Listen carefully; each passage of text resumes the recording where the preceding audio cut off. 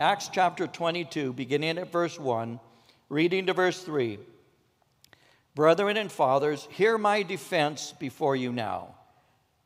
And when they heard that he spoke to them in the Hebrew language, they kept all the more silent. Then he said, I am indeed a Jew, born in Tarsus of Cilicia, but brought up in this city at the feet of Gamaliel, taught according to the strictness of our father's law, and was zealous toward God, as you all are today. And so we're going to be looking at a testimony, the power of a testimony. Now, some people have yet to have a testimony because they're not saved. And you may not understand what we're looking at today, but I would ask you to give a listen and, and to grow to understand a little bit about the power of what is called a testimony. Now, I want to lay the foundation here by reminding us of a few things. Remember, when Jesus Christ had prepared his men for ministry, he had taught them to expect resistance. He had made it very clear they're about to enter into spiritual warfare. They're going to enter in to hostile territory and as they enter into this kind of territory, this opposition, that they are to expect rejection, even persecution. Now, the reason that they would be rejected, the reason that they would encounter persecution, is because they're giving a message, a message that is resisted by Satan. It's a message called the gospel, a message of freedom from sin and freedom from bondage. And as messengers of this gospel, they're entering in to hostile territory, to enemy territory. When John was writing, the apostle John in 1 John chapter 5 verse 19, this is what he wrote. He said, "We know that we are children of God and that the whole world is under the control of the evil one."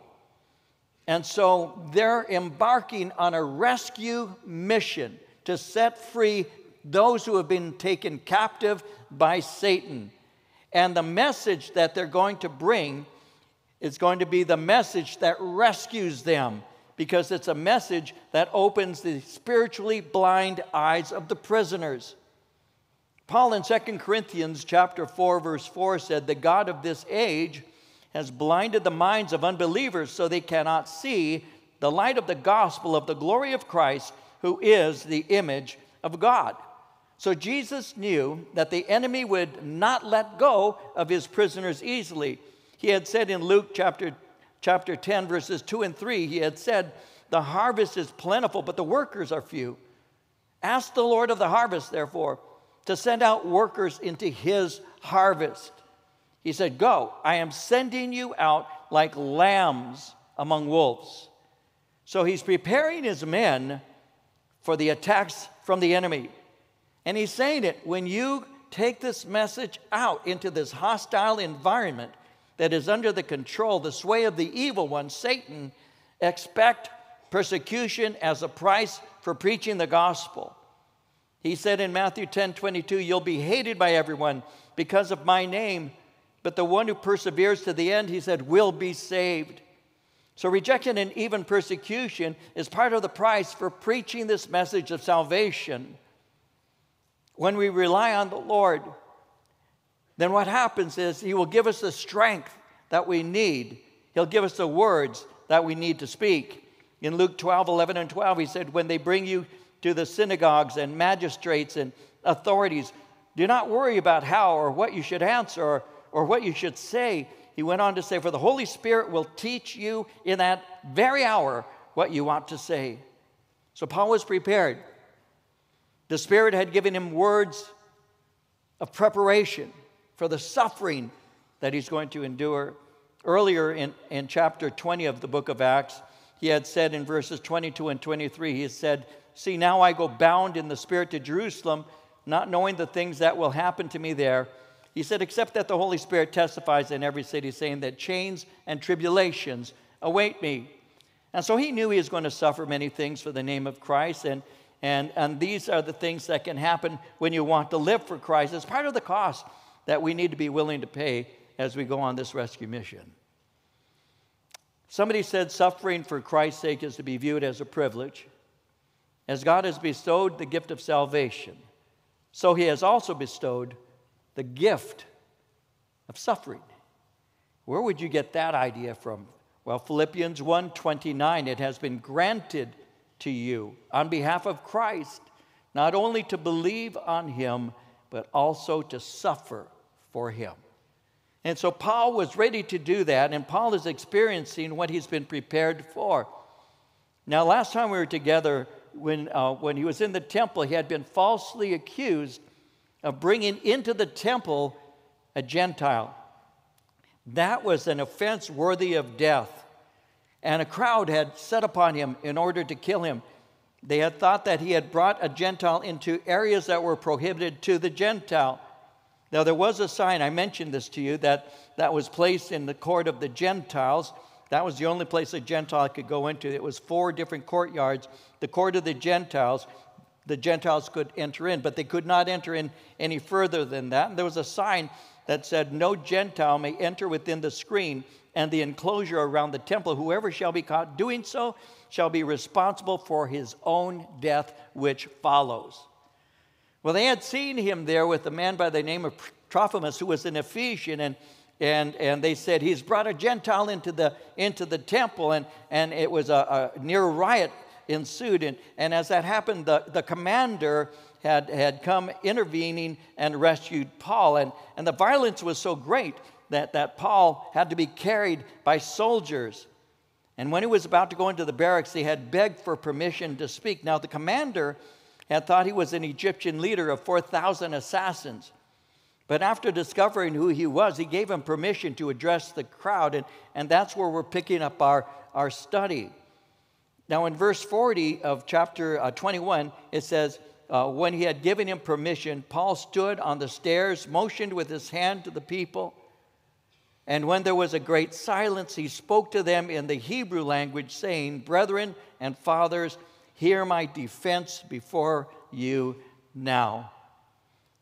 Now, Paul begins what is called an, a defense. And I want you to notice, and I'm going to develop this with you. I want you to, to notice that it was, uh, uh, it was a defense that was given with respect to those who were listening. In other words, he respectfully is asking them to hear him as he speaks. He says in verse 1 uh, uh, of chapter 22, Hear my defense. Now, I mentioned to you last, last time we were together that the word defense is a Greek word. The New Testament is written in what is called Koine or Common Greek. And so the word defense is a Greek word, apologia. It's where you get the word apologetics from. Apologetics is a reasoned statement or an argument concerning Christian doctrine. And so he's giving an, a, a reasoned statement of the things he most surely believes. He's giving a defense of the gospel. And he's about to answer the charges that have been brought against him. And he's using his circumstances as his opportunity to preach the gospel to them. You know, we see that various times in Scripture how something is happening and is used as a platform for preaching.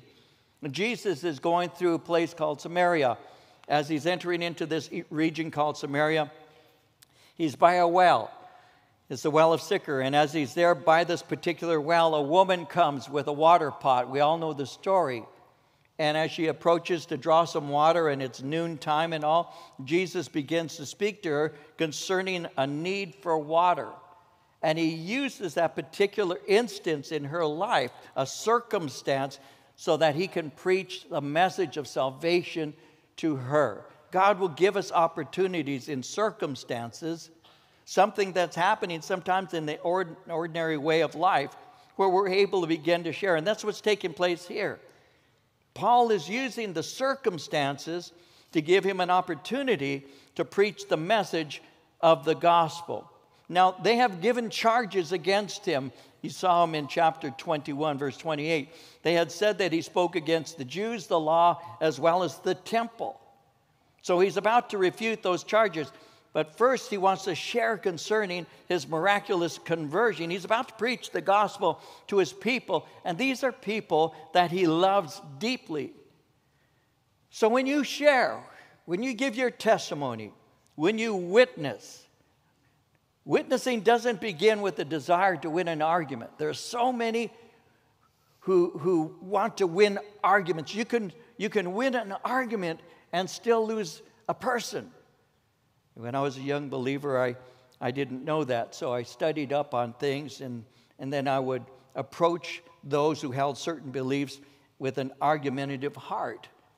And, and the Lord said to me, as in earlier days, He said, You may possibly win an argument, but you're losing the person with your attitude. You see, witnessing doesn't begin with a desire to win an argument. It doesn't begin with the desire to impress people with your eloquence or your intelligence. And, and, and witnessing and giving testimony isn't rooted in anger towards the lost for ruining everything you like, which I think is happening a lot today. We're angry at the people who have ruined this wonderful nation and all of that. Well, it doesn't begin there with anger, it doesn't begin that way at all. It begins with a concerned and loving heart because those who are doing such things are lost. And you see that in Scripture. Jesus is approaching Jerusalem, and it's on uh, Palm Sunday. And Luke tells us something as he's approaching the city when he says in Luke 19, verse 41, as he approached Jerusalem and saw the city, he wept over it. The heart of evangelism begins with a heart that's broken. The heart of evangelism isn't going to be found in the anger we feel about how things are, though I think there's a time for righteous anger, of course. But the heart of evangelism is rooted in a broken heart because the people who are doing such things don't know the Lord and thus are doing things to fulfill whatever desires they may have that they think may make them fulfilled or make them happy. The heart of giving a testimony, the heart of a witness, begins by being broken. In Psalm 126, verses 5 and 6, the psalmist said, Those who sow in tears will reap in joy. He who continually goes forth weeping, bearing seed for sowing, shall doubtless come again with rejoicing, bringing his sheaves with him. It's seeing that something is going to take place, like when Jesus was weeping over Jerusalem. If you'd have only known this your day, the moment of your visitation, and now things will be destroyed because you rejected the one who came bringing peace. Back in ancient history moment here for you, 2004, there was a, a tsunami. All of us were aware of it, those of us who were alive at that time and aware of things going on in the world. There was a tsunami, and and, and part of that, that uh, tsunami affected uh, Thailand. And uh, I had the opportunity with others to go to uh, a place called Phuket in Thailand and to scout it out and to see the damage. And then we were involved in helping to, to, uh, to restore and, and, and to do work and to plant churches, to plant ministries there. And this fellowship back then in 2004 without me ever receiving an offering. I just simply said, if you want to help those people, we received in today's dollars about a quarter million dollars in three, three weeks. Never taking an offering, never receiving an offering. I just said, if it's on your heart. And we were able to do a, a lot of work in Thailand and, and, and all of that. It was terrible. It was a terrible thing. And, and at that time, something was, was uh, circulating a video that I had opportunity to see. And perhaps some of you may, if you cast your memory back there, you might remember it. But there was a man who was on top of a roof as he was watching the wave coming towards the shoreline. And he was yelling at the people who were by the shore. And he was yelling because he could see the wave as it was approaching. The people down below could not see it. And he was yelling for them to get off, get off the shore. The wave is coming. The wave is coming. And what happens, and some of you know this, perhaps some don't, tsunami waves can travel in open sea up to 500 miles an hour. They're not just going like the waves we see in Huntington or wherever. These are 500 mile an hour, 30 plus feet of wave that can outrun jets. There have been reports of people in commercial jets as they're coming and a tsunami is, is, uh, is moving that is outrunning the jet itself. That's how fast they go. And when they hit the shore, it's not some, some small wave, it's a 30 foot wave that's building up in intensity. So when it hits the shore, everything that is in its path is churned. You, you, you're, you're, it's like being dropped into, into a, a incinerator, in, incinerator, you used to call them, into whatever that thing is called now, or a blender. I'll use the word blender. All of us know what that is. And you're gone. It's just that fast. And so he's yelling, Get off the shore. He's screaming because he sees the, the tsunami, he sees, the, sees the wave. And you know what happened? When it's about to hit, the water recedes from the shoreline and builds. That's what it does. And there, were, there was a man, and you can see this as a man who saw all the fish that were left behind as the wave was receding. And he had a basket, and he ran out, and he was picking up all these fish because he sold fish in a market. And he was thinking, what a blessing. Look at all of this. I don't even have to cast a net. And the guy is yelling and he's saying, Get off, get off. And you see people starting to run when the wave hits him. And this is the last you'll ever see of that man for fish on the sand. Ministers of the gospel will preach like that. They'll say, What does it profit a man to gain the whole world and lose his soul? What will you give in exchange for your soul? That man was willing to exchange his soul for some fish that he thought was his benefit or his blessing that day. Ministers, Paul is on the roof looking down, crying to people, Danger is coming, judgment is coming. Save yourself. And that's the heart of evangelism. It's a, pa- it's a passion, it, it's not out of anger, it's out of concern. It, it's a heart that's been broken.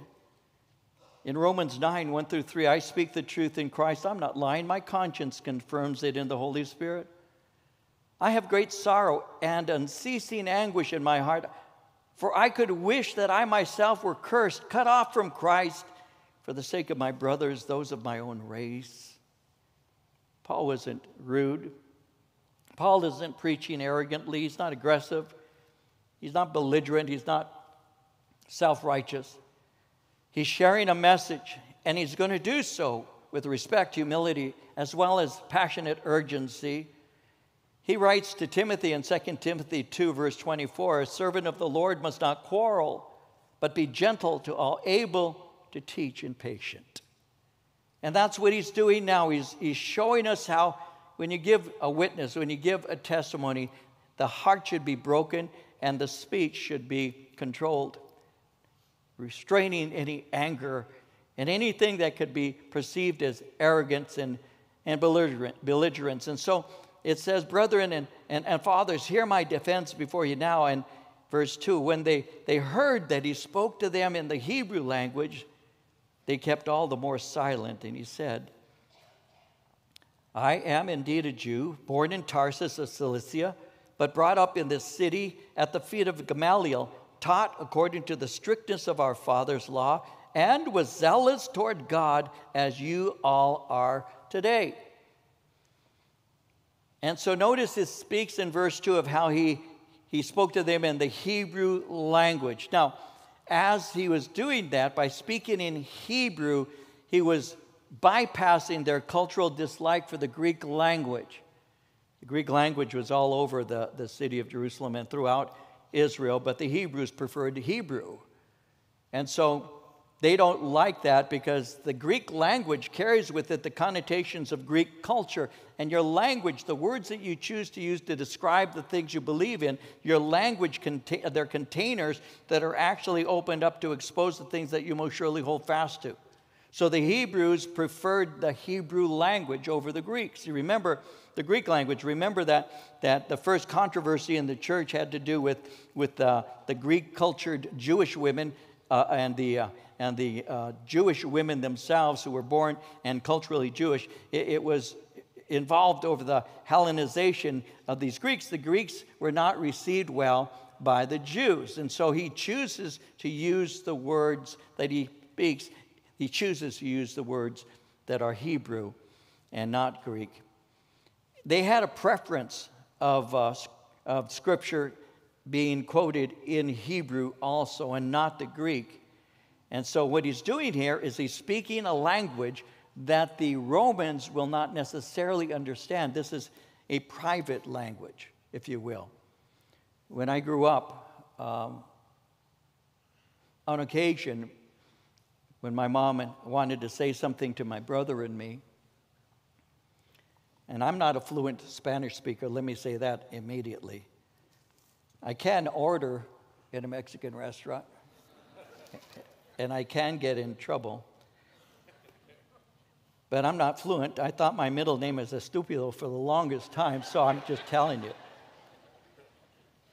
But my mom, when she wanted to say something that was kind of private, though we were in public, we knew enough Spanish as children for her to speak to us in Spanish. Why did she do that? Well, she normally wouldn't do that because my mom and dad felt that it was rude to speak a language that others around you couldn't understand. So, on occasion, my mother would speak in Spanish to us because she wanted us to know something. And so that made it a private conversation, even though it was open. That's what's happening here. The Romans are there, but they're not understanding the language that Paul is speaking, which immediately connects him with the people that he's addressing. And so he begins by saying, again, in verse 3, I'm a Jew. I was born in Tarsus of Cilicia, but he was brought up in the city. So, as a Jew, he's saying this, and this is important to see how he's beginning his de- defense. I, as a Jew, I know better than to bring a Gentile, he's saying, into the temple. Now, he's saying that I'm Jewish. I was raised here. I understand. It's intended to open a door. He's basically saying, I understand. I identify with you. I'm one of you. Now, that also answers the charge that he had brought a Gentile into the temple. He's making it very clear that cannot be true. I was raised here, I understand that. So he's giving his testimony, he's giving a personal testimony. Now, what is a testimony? Well, a testimony is a personal story of the love of God and God's grace to us. A, a, testimony is intended to encourage and to inspire, as well as to connect people to the message of salvation. A, a testimony is a witness of God's work in our life. It's a story that's intended to contrast what we were with what we have become by the grace of God. It's a story for the purpose of bringing glory to God and not the sinner. It, it's intended to cause people to desire the one who saves and not to be enthralled by the things you've done. Sometimes when we listen to people's testimonies, you get caught up with all the evil they've done and you, you fail to see the good that God has done. And a testimony is not supposed to exalt the sinner, it's to show how rancid in sin that person was and the grace of God that set you free from those things. And that's what he's about to do. He's giving a story to contrast what he was to what he has become by the grace of God. In 1 Timothy 1 12 through 15, he said, I, I thank Christ Jesus our Lord who has enabled me because he counted me faithful, putting me into the ministry, although I was formerly a blasphemer, a persecutor, and an insolent man. But I obtained mercy because I did it ignorantly in unbelief, and the grace of our Lord was exceedingly abundant with faith and love, which are in Christ Jesus. This is a faithful saying, worthy of all acceptance, that Christ Jesus came into the world to save sinners, of whom I am chief. What is a testimony? It gives glory to God. And I want you to notice when he was saying this to Timothy, he said, I was formerly, I was formerly a blasphemer, persecutor, insolent man. I obtained mercy. You were, but you're not now. Keep that in mind. I was in a socio- sociology class at Cal Poly Pomona. And it happened that I went to the class early, and there was another young man there who was with me. This is many years ago now. And so he's seated across from me. Nobody else is in the class. The class hasn't yet hasn't begun yet. And he begins to speak to me, and I used to take the opportunity in, in, in circumstances like that to share. And so he says, Well, who are you? And this and that. And we began to speak. Again, we're in a sociology class, and, and I gave him my testimony. And I shared with him what I was and what I've become. And, and as I'm sharing with him about these things, he says to me, Oh, because I was an alcoholic. So I, I told him, I said, Yeah, I love to drink. I wasn't, a, I wasn't a social drinker. I was the one who drank and overdrank until I was inebriated. I didn't even know what it tasted like. I was too busy just drinking. And I shared with him, I, I was an alcoholic. And then I said, I came to faith in Christ. And I am no longer an alcoholic. And he says, Oh, I see. Because now he's putting into the things we're learning in the class. And so he says, Oh, I see. He said, You had a conversion experience. And I said, Conversion experience? I said, What I am is a new creation. If anyone is in Christ, I told him, he's a new creation. All things are passed away. Behold, all things are become new. I said, I haven't been conversion experienced. I've been born again by the blood of Jesus Christ. And see, that, that's preaching the gospel. It's not going by man's way that we like to talk about experiences. Everybody has their own. No, this is a born again, and that's what Paul is talking about. I was once a drunk. But I'm not. I was once a, I was once a drug. I'm not. I was once an angry. I'm not. I'm none of those things because I'm brand new in Jesus Christ. And that's the whole thing we need to understand. I was formerly a blasphemer. There are people to this day who say, well, they're born again, but they're still an alcoholic. No, you're not. You've been set free in the Lord Jesus Christ. His Holy Spirit dwells within you. You're brand new. Identify for what you are, not what you were. And Paul didn't say, I am a blasphemer. He says, I was a blasphemer, but no more. See, that's what it means to be converted. So he's giving his testimony. It magnifies the grace of God and it gives him an opening to share. He wants to share the loving grace of God to these spiritually lost people. So he says in verse 3 he was born in Cilicia, but he was brought up in this city at the feet of Gamaliel. So, what are you saying, Paul? Well, in his testimony, he is saying, I am not an outsider. There are those who say, well, he doesn't value Israel, he doesn't value Jerusalem. So he's saying, though, though I haven't been born in Israel, I was brought up in Israel. As a matter of fact, verse 3, my parents loved their faith and they even had me tutored by, by Gamaliel. Now, Gamaliel was one of the most respected Pharisaic rabbis. It's giving an insight into his conservative training. He intends to silence those who had said that he spoke against Moses and the temple and it also gives us insight into why he speaks to them in the Hebrew language. He wants to identify with them, helping them to realize that he understands. So he was born, he says in verse 3 in Tarsus, but was brought up in the city, in the city at the feet of Gamaliel. My Jewish credentials are without question. I was taught the law, he's saying. I belong to Israel's most conservative denominations. Now remember, during that day, there were two major denominations in Israel there were the Sadducees and there were the Pharisees.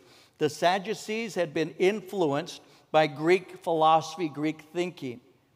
But the Pharisees were the separated ones. The word Pharisee speaks of the separated one.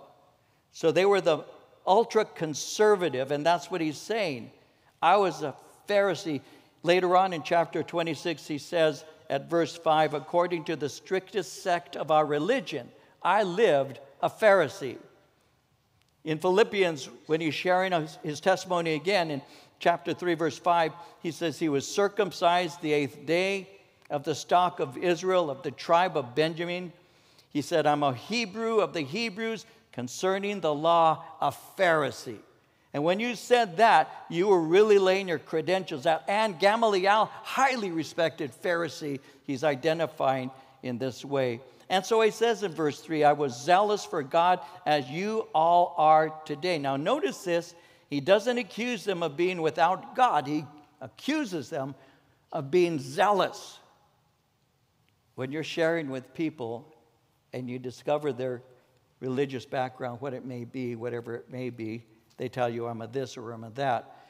You might have a desire to just jump in it and tell them all the things that are wrong with that particular denomination. There are quite a number of, of people who do that. I was raised in the Catholic Church, and when my friend Bill got saved, he felt it was a good thing for him to attack the things that I had been taught. And it just didn't open the door for me because I would I, I, got angry at him. Why are you attacking me? Why are you attacking the things that I've been taught? I didn't like it.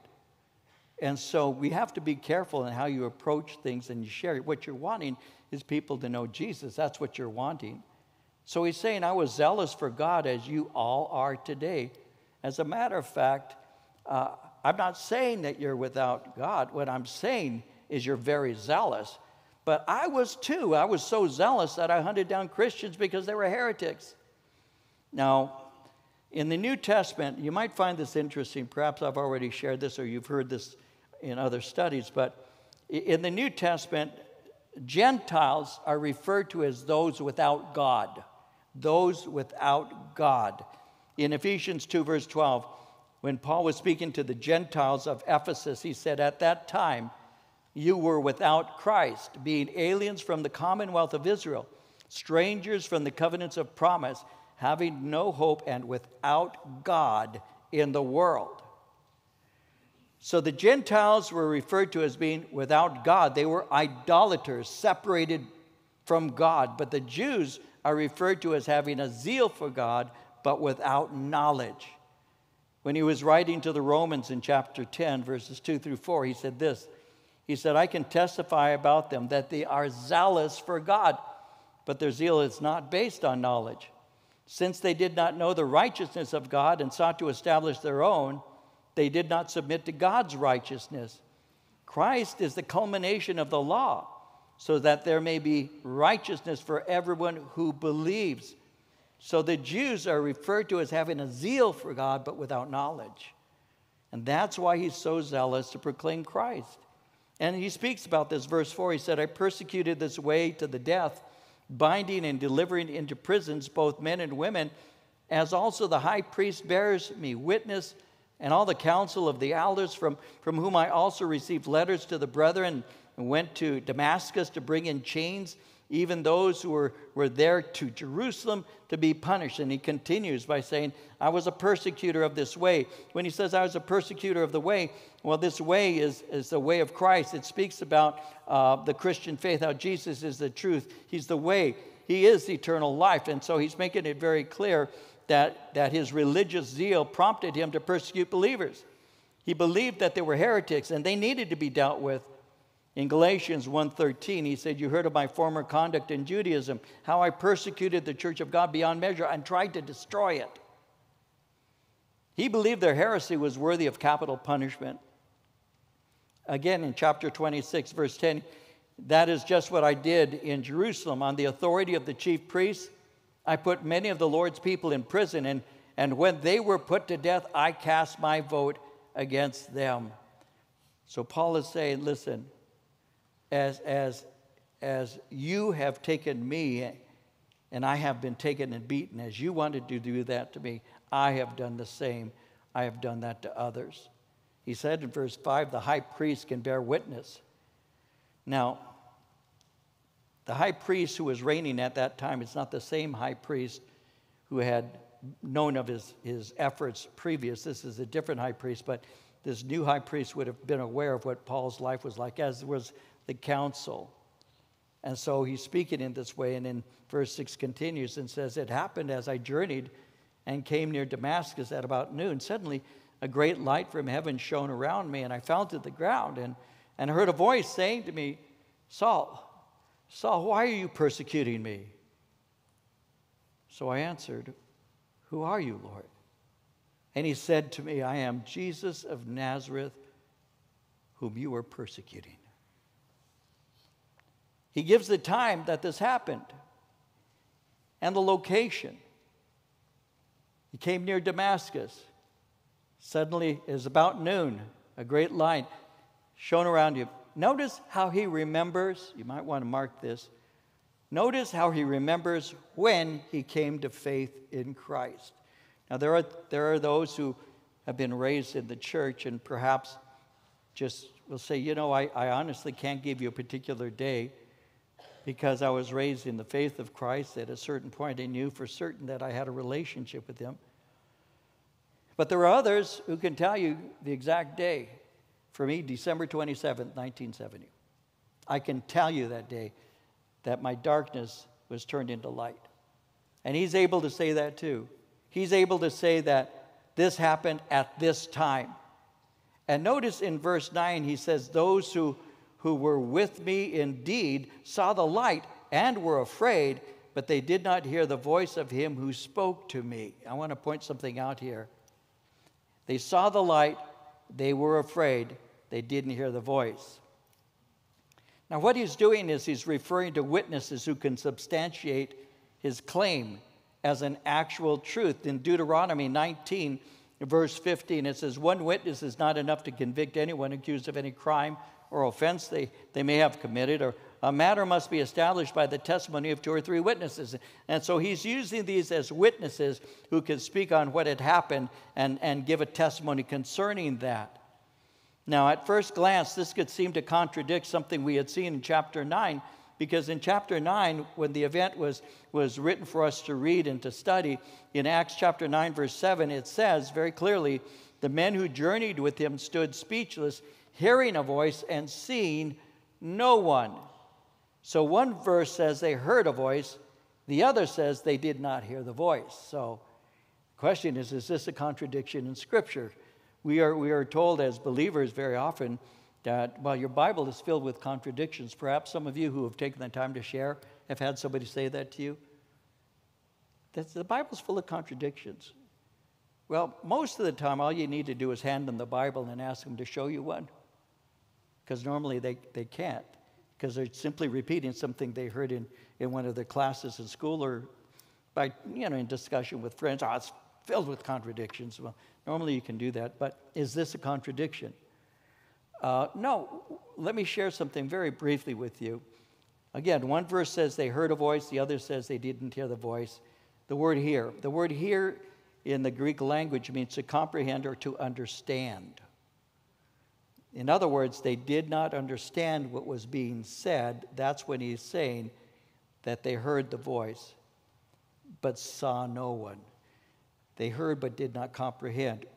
Well, why would you say that? Well, one, the word means to understand or comprehend. That's what it means. But two, we have a, a, another example of hearing but not understanding in John 12, 27 through 29. Now my soul is troubled. What shall I say? Father, save me from this hour. But for this purpose I came to this hour. Father, glorify your name. Then a voice came from heaven saying, I have both glorified it and will glorify it again. Therefore, the people who stood by and heard it said that it had thundered. Others said, An angel has spoken to him. They heard but did not understand. And so that's the word that's being used here. They heard but did not understand. Well, it says, uh, verse 10 So I said, What shall I do, Lord? The Lord said to me, Arise, go into Damascus, and there you'll be told all things which are appointed for you to do. And since I could not see for the glory of that light, being led by the hand of those who were with me, I came into Damascus. In other words, the glory of the Lord temporarily had blinded him. Verse 12 Then a certain Ananias, a devout man according to the law, having a good testimony with all the Jews who dwelt there, came to me. And he stood and said to me, Brother Saul, receive your sight. And at the same hour I looked up at him. And then he said, The God of our fathers has chosen you, that you should know his will, see the just one, and hear the voice of his mouth. For you will be his witness to all men of what you have seen and heard. And now, why are you waiting? Arise, be baptized, wash away your sins, calling the name on the name of the Lord. And so he speaks to him, and uh, notice how Ananias is referred to in verse 12 as a devout man and he had a good testimony. That means that he's establishing his, his credibility by calling on this man's reputation. And so verse 13 says, He came to me and he stood and said, Receive your sight. So he's saying, I was healed, I received my sight, the foundation has been laid, I began to preach. And then he goes on in verses 14 and 15 and speaks concerning the, uh, the ministry he's received. And what is it to be? A witness, notice, to all men. That's an important point. We'll be looking at that in just a second. Now, I'll, I'll touch something with you real quickly. Verse 16. Why are you waiting? Arise, be baptized, wash away your sins, calling on the name of the Lord. Now, let me touch that for a minute. Is this saying that your sins are washed away by water baptism? No. Why is that? Well, because baptism is an act of obedience, but it is not something that saved you. You're not saved by being water baptized. In 1 Peter 3:21, water symbolizes baptism that now saves you also, not the removal of dirt from the body, but the pledge of a good conscience toward God. It saves you by the resurrection of Jesus Christ. Baptism is a betrayal of death, burial, and resurrection. That's the point. You've identified that the one who died on behalf of you was raised from the dead, who now gives you life. When you're water baptized, the old man is dead, and you have a newness of life in Christ. That's the picture that you have. Why? Because even if it's a, it's a very uh, special and religious thing to do, it isn't what is saving you. Titus 3:5 says, Not by works of righteousness which we've done, but according to his mercy he saved us, through the washing of regeneration, the renewing of the Holy Spirit. So salvation results from faith in Jesus Christ and him alone. For by grace are you saved through faith, and that not of yourself. It's a gift of God, and not by works, lest any man should boast. So baptism is an act of obedience that results from salvation, not in salvation. It's, it's an outward demonstration of an internal faith. So, as he's sharing in verse 17, it happened when I returned to Jerusalem and was praying in the temple. I was in a trance and, and saw him saying to me, Make haste and get, to, get out of Jerusalem quickly, for they will not receive your testimony concerning me. So I said, Lord, they know that in every synagogue I imprisoned and beat those who believe on you. And when the blood of your, your martyr Stephen was, was shed, I also was standing by, consenting to his death, guarding the clothes of those who were killing him. So he begins to share concerning these things. He says, When I returned, verse 17, to Jerusalem, he was praying in the temple. This would have occurred a few years later. Uh, I was there in the temple. It's pointing out that he didn't dishonor the temple, he still honored it. And he says, I was in a trance. The Lord spoke to me. By sharing this with them, it makes it clear his mission is ordained by God. It reminds them of the vision that Isaiah in chapter 6 had had when it says in Isaiah 6 8 through 10, uh, I heard the voice of the Lord saying, Whom shall I send? And who will go for us? And I, I said, Here am I, send me. And he said, Go, tell this people, be ever hearing, but never understanding be ever seeing, but never perceiving. Make the heart of this people callous, make their ears dull, and close their eyes. Otherwise, they might see with their eyes, hear with the ears, understand with their hearts, and turn and be healed. So the narrative implies that Jesus appeared to him in the temple in a vision and gave him a special command. He's to go to the Gentiles, even though the Jewish people who are to receive the word are rejecting it. Now it goes on to say, and we'll move towards our conclusion. Verse 19, pick it up at verse 19. Uh, when the blood of martyr Stephen was shed, I also was standing by, consenting to his death, guarding the clothes of those who were killing him. He said to me, Depart, for I will send you far from here to the Gentiles. Up to that point, things were going okay. Surely the Lord changed me. You know that in every synagogue, I imprisoned people. I, I was consistent with the death of the first martyr. I was passionately in favor with it. And so he's speaking of his zeal and his Jewishness. But then when he says in verse 21, I will send you far from here to Gentiles, that was it. For him to say, I'm going to the Gentiles, well, that triggered the response. They listened, verse 22, until this word. Gentiles were not equal to Jews. Jews, in their mind, are the chosen people. When he said he went to the Gentiles, it outraged them. This, in their mind, is proving the charge that Paul brought a Gentile into the temple. What did they do as a response to that? Verse 23 says, They listened to him until this word. They raised their voices and said, Away with such a fellow from there. He is not fit to live. They cried out and tore off their clothes and threw dust into the air. The commander ordered him to be brought into the barracks and said that he should be examined under scourging so that he might know why they shouted so against. They went crazy. They were so upset. They were preparing by tearing off their clothes, their cloaks. They were going to stone him. And when the, the commander sees this, he doesn't understand, so he, he has them brought into the barracks. We're going to have to discover what, what's happening. Why are they so upset? Verse 25 they bound him with thongs with leather straps. Paul said to the centurion who stood by, Is it lawful for you to scourge a man who's a Roman and uncondemned? When the centurion heard that, he went and told the commander, saying, Take care of what you do, for this man's a Roman. The commander came and said to him, Tell me, are you a Roman? He said, Yes. The commander answered, With a large sum I obtained this citizenship. And Paul said, I was born a citizen. Immediately, those who were about to examine him withdrew from him, and the commander was also afraid after he found out that he was a Roman and because he bound him. And the next day, because he wanted to know for certain why he was accused by the Jews, he released him from his bonds, commanded the chief priests and all their council to appear, and brought Paul down and set him before them. So he's being prepared for scourging, but he appeals to his rights as, as a citizen.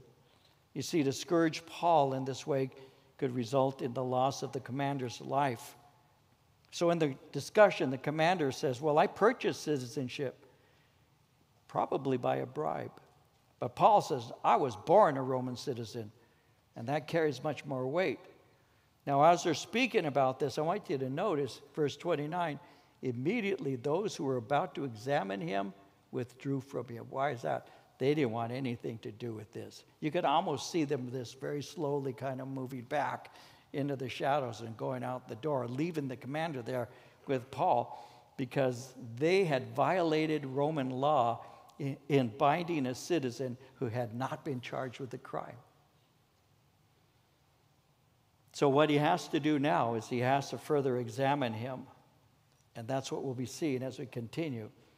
But what is it we see as we conclude this portion of our study? Well, one, we see that Paul is a great example of a believer who's under trial. One, he accepts what is happening to him as being from the Lord. He had been prepared and he was ready. He knows that this is from the Lord too. He used his circumstances as his opportunity. So even though he knew where he was going and, and things were about to get even worse, he was still faithful to preach the word of God, which is why he had come to Jerusalem. And finally, even when he had been unjustly taken in this fashion, he didn't respond with threats, but he did make use of his proper rights, which is what we, even at this day, do. When people will say, and they are doing it much more now, it's just, it's not even hidden anymore, this antagonism to the gospel. You need to be quiet. You can't congregate. And if you do congregate, you can't do it indoors. And if you congregate outside, you can't sing.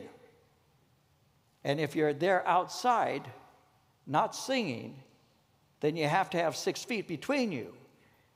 Now, that is, unless you're getting a tattoo. If you're getting a tattoo, that's okay. Or that is, unless you're going to a strip club. Because if you're going to a strip club, that's really okay. Well, that is, unless you're gathering uh, in a protest. Because if you're gathering in a protest with no mask, that's still okay. But you Christians, you need to keep your mouth shut. You Christians, you cannot congregate on Sunday. You Christians, you can't sing you Christians cannot have fellowship. You Christians need to be isolated. If you didn't see that was taking place, let me remind you that it did. And so, what did we do? We didn't shake our fist in the, in the face of the government. People wanted to gather, and we gathered. We gave you a little separation to give you a little comfort. We didn't want to be stupid, but at the same time, we don't bow our knee to Caesar. We bow our knee to Christ. And, and Paul was doing that. Paul was making use of the rights he has as a citizen. And that is never inappropriate. It's the attitudes that we have. It's a, it's a pugnaciousness and belligerence that sometimes we can have. What we need to do is, is just follow the Lord and do the best that we can.